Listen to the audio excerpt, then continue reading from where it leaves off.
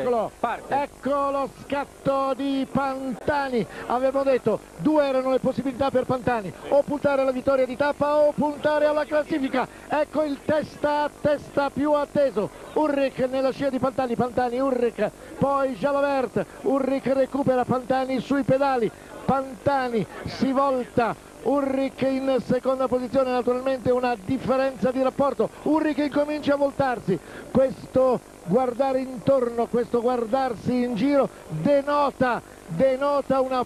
un'insicurezza da parte della Adesso. maglia gialla e sta forse per pagare Ulrich lo sforzo che ha dovuto effettuare, ecco che si volta, si sposta, ecco che Pantani raggiunge Beltran, Pantani solo all'inseguimento eh,